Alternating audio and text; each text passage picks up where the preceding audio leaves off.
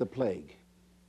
Like a pale horseman of the apocalypse, the Black Plague arrived in Europe in October 1347. A fleet of 12 Genoese ships limped into the harbor of Messina in Sicily.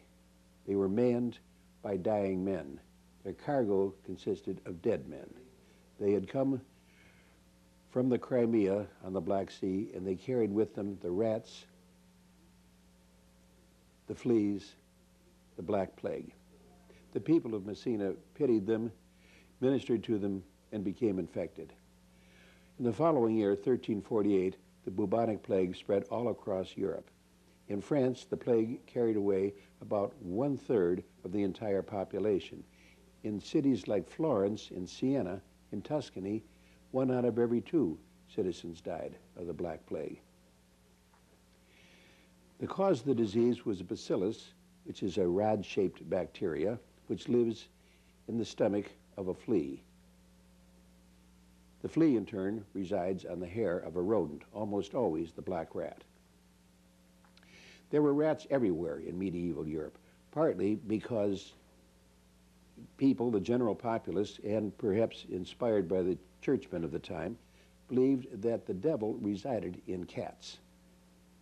Somehow cats and their, their movements made people think, wow, I think they've got the devil. They're probably, uh, he's probably masquerading as a cat or as a bat. So anytime you found a cat in medieval Europe, he was summarily drowned, uh, which made for a lot of rats, of course.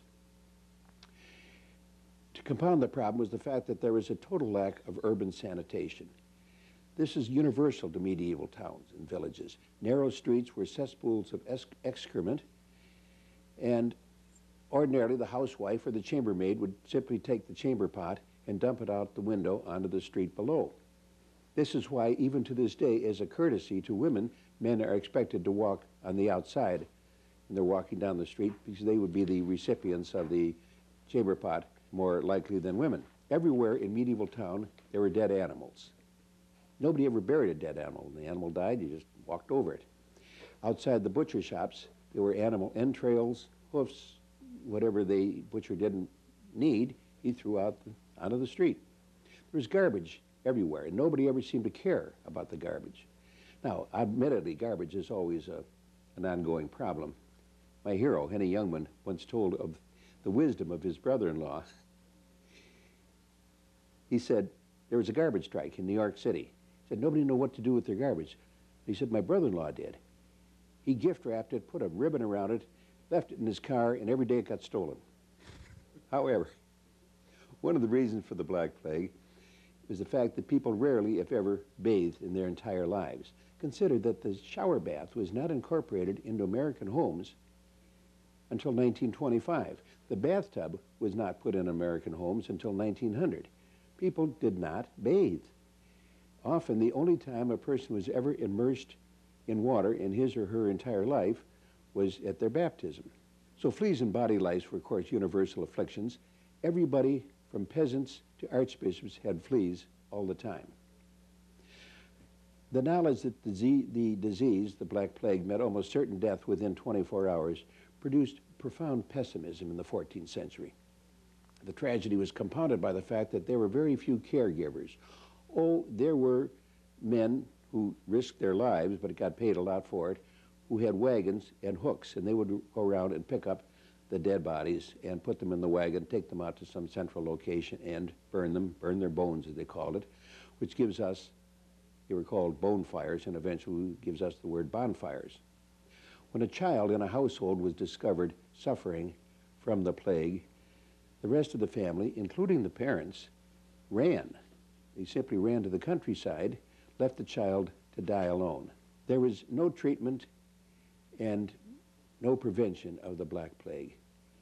Some people thought that perhaps holding sweet-smelling flowers in their noses all the time, which would ward off the noxious odors and vapors, might possibly be a remedy for plague. So often people went around with sweet-smelling, fragrant flowers.